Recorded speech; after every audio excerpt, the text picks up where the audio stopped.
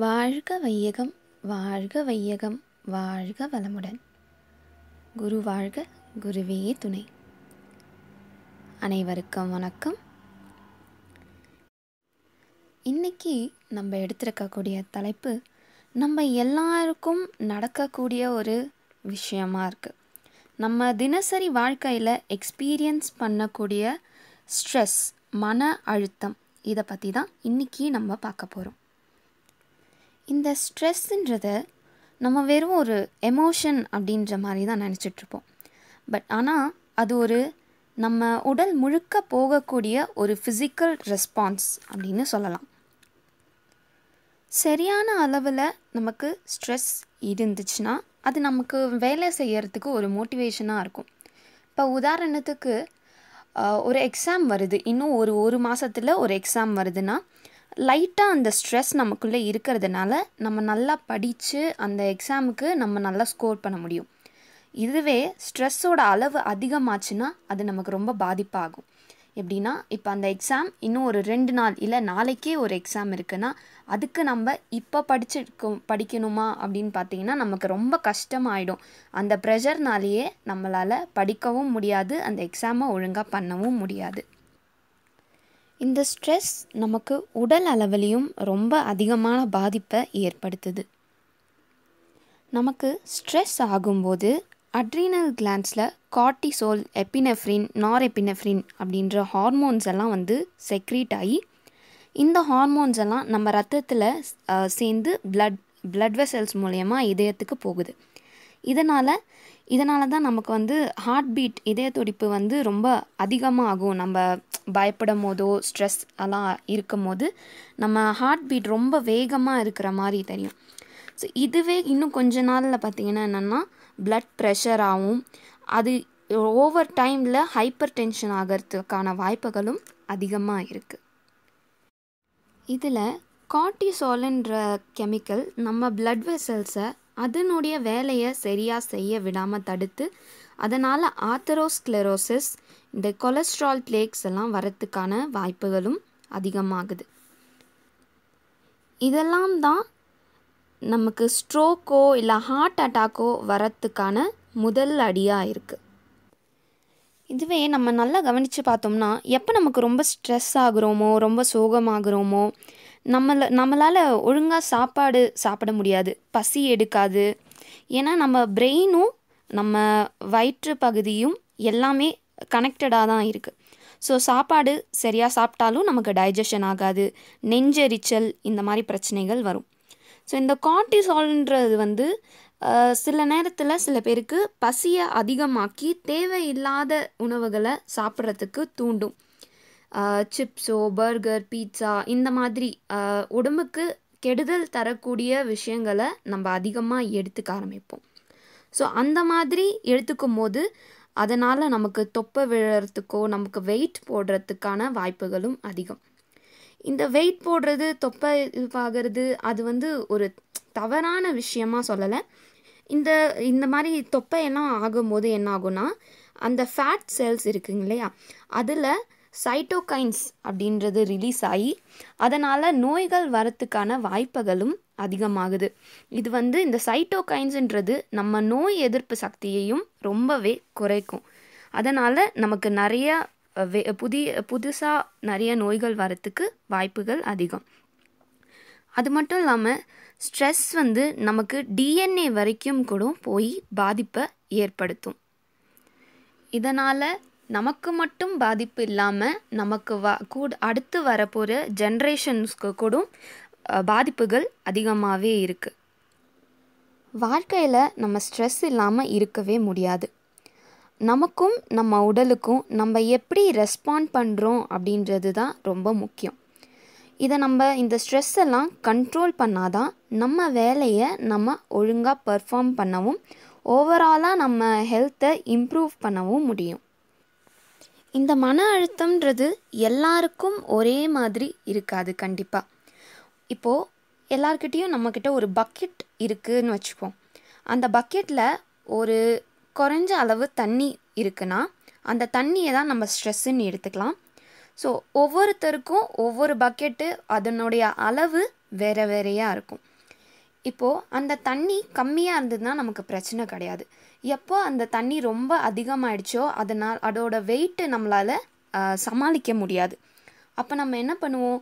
சின்ன சின்ன ஓட்டைகளோ இல்லைனா வேறு ஏதாவது மகு வச்சு அந்த தண்ணி எடுத்து வெளியே ஊற்றுவோம் ஸோ அந்த மாதிரி வெளியே ஊற்றணுன்னா அதுக்கு தான் நமக்கு வந்து மகரிஷி நமக்கு மெடிடேஷன் எக்ஸசைஸ் இதெல்லாம் கொடுத்துருக்காங்க. இது மூலயமா நம்ம ஸ்ட்ரெஸ்ஸை கன் ஸ்ட்ரெஸ்ஸை கண்ட்ரோல் பண்ணலாம். பயம் சினம் கவலை. இது மூணும் சேர்ந்தது தான் வந்து ஸ்ட்ரெஸ் அப்படின்னு மகரிஷி நமக்கு ஒரு சிம்பிளான டெஃபினிஷன் கொடுத்துருக்காரு. ரொம்ப சுருக்கமாக சொல்லணுன்னா எண்ணத்தின் து திணிவு அப்படின்னு சொல்லலாம். ஸோ இது நம்ம ஸ்ட்ரெஸ் வராமல் இருக்கணும்னா நம்ம எண்ணத்தை முதல்ல சரியாக வச்சுருக்கணும். எண்ணத்தை சரியாக வச்சுருக்கணுன்னா என்ன பண்ணணும்? மனசை அமைதியாக இருக்கணும். மனசு அமைதியாக இருக்கணும்னா எண்ணம் ஆராய்தல் நம்ம செய்யணும். இதுக்கு தான் நமக்கு எண்ணம் ஆராய்தல் பயிற்சியை மகரிஷி கொடுத்துருக்காரு. நம்ம மனசை அமைதியாக வச்சுக்கிறதுக்கு நமக்கு என்ன ரொம்ப முக்கியம் அப்படின்னு பார்த்தோம்னா ரொம்ப சிம்பிளான ஒரு விஷயம். நம்ம தினமும் பண்ணிகிட்ருக்கக்கூடிய எல்லாரும் பண்ண வேண்டிய ஒரு விஷயந்தான் மெடிடேஷன் சும்மா ஒரு ஒரு ஃபிஃப்டீன் மினிட்ஸ் அட்லீஸ்ட் ஒரு பதினஞ்சு நிமிஷமாவது எல்லாருமே தினசரி மெடிடேஷன் பண்ணியே ஆகணும். மெடிடேஷன் ஒழுங்காக வரணும். அப்படி அதில் நம்ம உட்காரணும் அப்படின்னா நம்ம உடல் அதுக்கு ஒத்துழைக்கணும். உடல் ஒத்துழைக்கிறதுக்கு நமக்கு வந்து எக்ஸசைஸ் உடற்பயிற்சியும் காயக்கல்பமும் இது ரெண்டுமே ரொம்ப அவசியமாக இருக்குது ஸோ இப்படி நம்ம பார்த்தோம்னா எல்லாமே இன்டர் கனெக்டடாக தான் இருக்குது எக்ஸசைஸ் பண்ணால் தான் மெடிடேஷன் பண்ண முடியும். மெடிடேஷன் பண்ணால் தான் மனசை அமைதியாக வச்சுக்க முடியும். மனம் அமைதியாக இருந்தால் தான் எண்ணம் சரியாக இருக்கும். எண்ணம் அமை சரியாக இருந்ததுன்னா தான் ஸ்ட்ரெஸ்ஸோ இல்லை வேறு எந்த ஒரு விஷயம் இருந்துச்சுனாலும் நம்மளால் அதை சமாளித்து நம்ம வாழ்க்கையில் அடுத்து முன்னேற முடியும். ஸ்ட்ரெஸ் இருந்ததுன்னா உடல் அளவுலேயும் சரி மன அளவுலேயும் சரி நம்ம சுற்றி இருக்கவங்க கிட்ட கூட நம்ம ஒழுங்காக நம்மளால் பேசவோ இல்லை நம்ம கடமைகளை ஒழுங்காக செய்யவும் முடியாது. ஒரு சின்ன கதையோடு இன்றைக்கி சிந்தனையை முடிச்சிடலாம். ஒரு சைக்காலஜிஸ்ட் வந்து ஸ்ட்ரெஸ் மேனேஜ்மெண்ட்டை பற்றி ஒரு கிளாஸ் நடத்திட்டுருக்காரு. அவர் வந்து ஒரு அவர் கையில் ஒரு சின்ன கிளாஸ் வச்சுட்டு எல் வச்சுட்டு அதில் வந்து கொஞ்சம் தண்ணி இருக்குது ஸோ எல்லாருமே அது வந்து எப்படியும் அவர் ஹாஃப் ஃபுல்லாக இருக்கா இல்லை ஹாஃப் எம்டியாக இருக்கா அப்படின்னு தான் கேட்க போகிறாருன்னு நினச்சிட்டு இருந்தாங்க. ஆனால் அந்த சைக்காலஜிஸ்ட் வந்து இந்த கிளாஸ் ஆஃப் வாட்டர் எவ்வளோ வெயிட் இதுக்கு எவ்வளோ இருக்கும் அப்படின்ற மாதிரி அவர் கேட்டதும் நிறைய பேர் வந்து ஒரு அரை லிட்டர் இருக்கும் முக்கால் லிட்டர் இருக்கும் அப்படின்ற மாதிரி சொல்கிறாங்க ஸோ அப்போ அந்த வந்து அந்த சைக்காலஜிஸ்ட் சொல்கிறாரு இந்த கிளாஸ் எவ்வளோ வெயிட்டுன்றது முக்கியமே கிடையாது. எவ்வளோ நேரம் நான் இதை பிடிச்சிட்ருக்கேன் அப்படின்றது தான் வந்து முக்கியம். இதுவே நம்ம அந்த கிளாஸ் கிளாஸை வந்து ஒரு ஒரு நிமிஷத்துக்கு பிடிச்சிட்டு இருந்தோம்னா அப்படியே பிடிச்சிட்டு இருந்தோம்னா நமக்கு அது ஒன்றும் ஒரு பிரச்சனையாகவே தெரியாது. இப்போ ஒரு ஒரு மணி நேரமோ இல்லை ஒரு ரெண்டு மணி நேரமோ அந்த கிளாஸை பிடிச்சிட்டே இருந்தோம்னா கை வலிக்க ஆரம்பிக்கும். இதுவே ஒரு நாள் முழுக்க பிடிச்சிட்டு இருந்தோம்னா கையில் உணர்ச்சியே இல்லாமல் பேரலைஸ் ஆகிறதுக்கு கூட வாய்ப்புகள் அதிகம். இந்த கிளாஸோட வெயிட்டு கொஞ்சம் கூட மாறலை. ஆரம்பத்துலேருந்து அதே வெயிட்டில் தான் இருக்குது எவ்வளோ நேரம் நம்ம அதை பிடிச்சிட்டு இருக்கோமோ அவ்வளோக்கு அவ்வளோ அதோட வெயிட்டு அதிகமாகிற மாதிரி ஒரு ஃபீல் நமக்கு வருது. இதே மாதிரி தான் இந்த ஸ்ட்ரெஸ்ஸு கவலை இது எல்லாமே இதே இதே ஃபார்முலாவில் தான் வருது. அப்புறம் கொஞ்ச நேரத்துக்கு அதை பற்றி யோசித்தோம்னா நமக்கு அது பிரச்சனை கிடையாது. ரொம்ப ரொம்ப நேரம் அதை பற்றியே யோசிச்சுட்டு இருக்கும் போது தான் வந்து அது நமக்கு பிரச்சனைகளை கொடுக்குது. இந்த ஸ்ட்ரெஸ் கவலை இதை எல்லாத்தையும் ரொம்ப நேரம் நம்ம மனசில் வச்சுக்காம நம்ம மகரிஷி சொன்ன மாதிரி ம மெடிடேஷன் எக்ஸசைஸ் இதெல்லாம் பண்ணி நம்ம வாழ்க்கையில் கண்டிப்பாக முன்னேறணும். சிந்தனையை முடிக்கிறதுக்கு முன்னாடி இன்றைக்கி நாங்கள் கிளாஸில் பார்த்த ஒரு கேஸை பற்றி கொஞ்சம் சொல்லணும்னு நினைக்கிறேன். என்னென்னா எங்களுக்கு வந்து இந்த டைம் சைக்காட்ரி கிளாஸ் நடந்துகிட்ருக்கு ஸோ ஹாஸ்பிட்டலில் இப்போ கேசஸ் அட்டென்ட் பண்ணிகிட்டு இருக்கும்போது இன்றைக்கி வந்து ஒரு பேஷண்ட்டை பார்த்துட்டு பார்த்துட்ருந்தோம் அவங்க வந்து ப்ரெக்னென்ட் ஆகி அவங்களுக்கு போஸ்ட்மார்ட்டம் டிப்ரெஷன் அப்படின்னு சொல்லுவாங்க இல்லையா? ரொம்ப ஸ்ட்ரெஸ் இந்த குழந்த பிறந்ததுக்கப்புறமா அந்த அம்மாவுக்கு வரக்கூடிய ஸ்ட்ரெஸ்ஸு இதனால் இது வந்து போஸ்ட்மார்ட்டம் டிப்ரெஷன் அப்படின்னு சொல்லுவாங்க.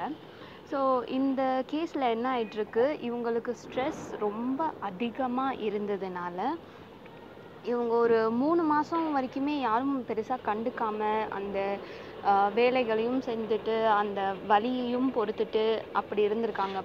ஸோ ரொம்ப அதிகமான ஸ்ட்ரெஸ்ஸில் இருந்திருக்காங்க. என்ன ஆயிடுக்குன்னா ஒரு மூணே மாதத்தில் குழந்த குழந்த வந்து ரொம்ப அழுதுருக்கு போல். என்ன பண்ணுறோம் அப்படின்னே யோசிக்காமல் சுத்தமாக சுயநிலையவே இல்லாமல் அந்த குழந்தைய பால்கனி வழியாக தூக்கி போட்டுட்டாங்க. போட்டுட்டு என்ன நடந்ததுன்னே தெரியாமல் அவங்களும் உட்காந்துருந்தாங்கன்னு சொன்னாங்க. அப்புறம் பார்த்தா கொஞ்ச நாளில் ஜெயிலில் தான் அவங்களுக்கு நினைவே திரும்பிச்சு. அந்த அளவுக்கு வந்து ரொம்ப மோசமாக இருக்கக்கூடிய ஒரு விஷயமா தான் வந்து ஸ்ட்ரெஸ் அப்படின்றது இருக்குது ஏதோ ரொம்ப சாதாரண விஷயம். ஆனால் ரொம்ப பெரிய பாதிப்பை யாருக்கு வேணால் ஏற்படுத்தும். இப்போது இப்போ நம்ம ஒரு மென்டல் ஹாஸ்பிட்டலில் தான் நாங்கள் இப்போது ஒர்க் பண்ணிகிட்ருக்கோம் அங்கே வந்துட்டு எத்தனையோ பேர் இந்த ஸ்ட்ரெஸ்ஸே விதவிதமாக schizophrenia mental disorders multiple personality disorders எல்லாமே ஸ்ட்ரெஸ்ஸனுடைய வேறு வேறு டைப்பாக தான் எல்லா பேஷண்ட்ஸுக்குமே இருக்குது ஸோ இதை நம்மளால் கட்டுப்படுத்த முடியும் அப்படின்னா இதை நம்ம எவ்வளோவாக்கு நம்ம இதை அட்வான்டேஜ் எடுத்துகிட்டு நம்ம இதை பண்ணணும் அப்படின்றத நம்ம எல்லாரும் உணரணும். இவ்வளோ நேரம் அழகாக கேட்டுட்ருந்த எல்லாருக்கும் நன்றி.